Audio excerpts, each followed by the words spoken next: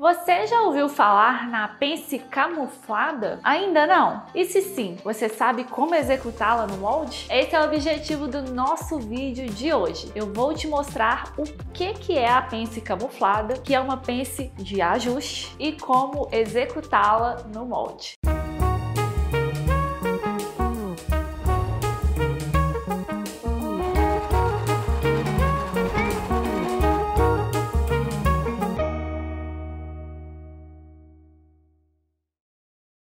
Sou Lara Rogedo, designer de moda, professora de modelagem e costura. Se inscreva aqui no canal, clique no botão vermelho logo abaixo do vídeo e ative o sininho para receber as notificações. Também me siga nas outras redes sociais, no arroba Lara Rogedo. Vamos lá?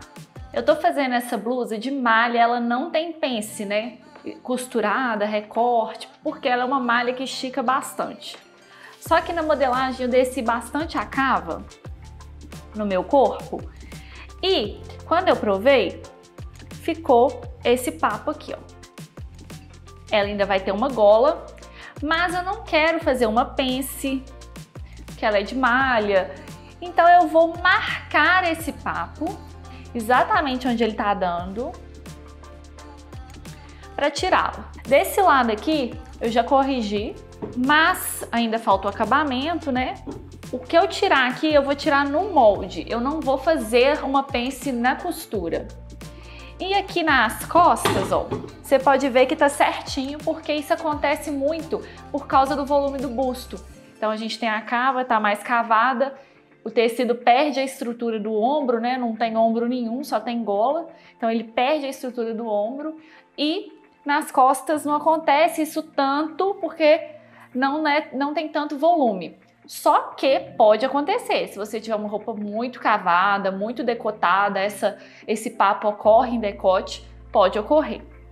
No meu caso, só deu aqui na frente. Então, o que, que eu vou fazer? Eu vou medir essa distância aqui, tem que considerar que aqui tem margem de costura, e medir o valor do papo da pence que eu fiz, dessa marcação. Tem um centímetro e meio para cada lado, então no total três e eu vou fazer essa pence camuflada no molde. Aqui está o molde, esse é o frente, esse é o costas, vou trabalhar só com o frente. Eu medi no manequim, aqui ó, claro que esse aqui tá sem margem de costura, então tem que considerar.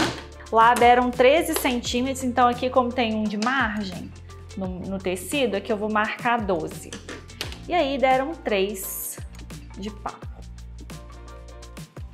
Se ficar muito grande, às vezes eu tiro só um pouquinho, depois eu passo um leve ponto de franzido na hora de, na hora de costurar, para tirar o resto. O que acontece?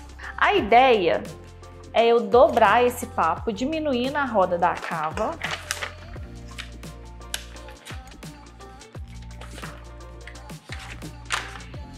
E desligar essa dobra no molde, porque não tem pence, meu molde não tem transferência de pence é um molde sem pence. Aqui. Aí, para cortar esse molde, ele entorta. O que eu posso fazer? É ligar o início da cava até a barra, mas vai perder isso aqui. Ou aumentar aqui esse tanto, ganha mais decote. Esse é o problema da pence camuflada que o molde ele entorta. Então ele, ela é um último recurso que a gente usa. Uma outra opção que eu até gosto mais é você marcar uma, uma linha de busto, como se fosse fazer uma pence de busto, uma linha qualquer. Faço um ponto alto do busto aqui no meio, aleatório, e ligo. Vou fazer essa pence um pouquinho menor, apesar de ter dado 3, mas a malha estica muito. Vou fazer com 2,5 depois eu termino no acabamento, eu faço um leve embebido. Aí eu abro a, a linha de busto que eu criei até esse ponto e faço. Só que eu criei uma pence. Eu vou colocar papel. O molde não entortou. Vou copiar aqui. Decote, acertar a cava. Chegou aqui, eu acerto pela lateral costas, que tem que estar tá do mesmo tamanho da da frente. Ou você adiciona papel aqui e tira lá embaixo. A frente termina aqui e as costas estão terminando aqui. Eu posso ligar com uma leve curva Outra opção, aumento a frente toda e aumento as costas. Também pode ser. Aí você não entorta o molde. Vou pegar a blusa, dobrar aqui lateral com lateral. Eu usei uma listra dessa para fazer o meio. E aí, você coloca, eu só vou consertar até aqui, por cima, olha o tanto que vai entrar.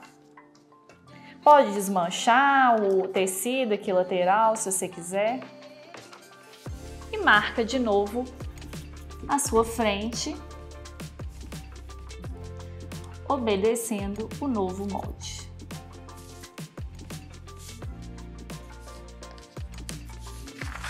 Aqui entrou mais aqui, que eu estava fechando aqui, e aqui desceu um pouco mais na capa. Outra opção é você desmanchar, como eu fiz, para acertar só a frente, já que as costas estão boas. E acertar a cava.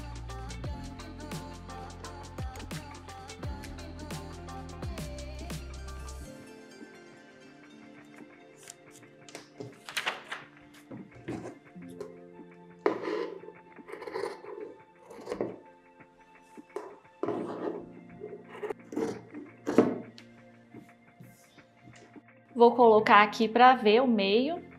Na lateral eu não coloquei margem de costura, porque essa malha já estica muito. Coloquei só em cima e na cava, que eu ia virar o acabamento. A malha a gente finaliza com overlock. E só assim já dá pra ver que assentou no corpo. Agora eu vou costurar, finalizar, mostrar pra vocês o resultado final.